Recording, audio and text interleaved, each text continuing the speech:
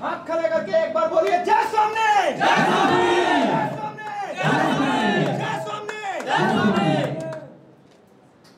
ठीक है अब सारे लोग अपने अपने जगह पर बैठ हमें चाहिए